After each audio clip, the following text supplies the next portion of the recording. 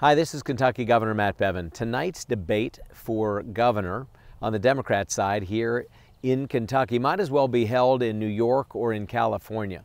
The ideas that you hear are tired, they're backward, they're backward looking. These socialist ideas are the kinds being espoused by young voices coming out of New York and tired old voices coming out of California. They're not what's best for us. We've created more than 50,000 jobs here in Kentucky because we're looking forward. This is what we're going to continue to do because looking forward is what the people of Kentucky deserve and it's what we want.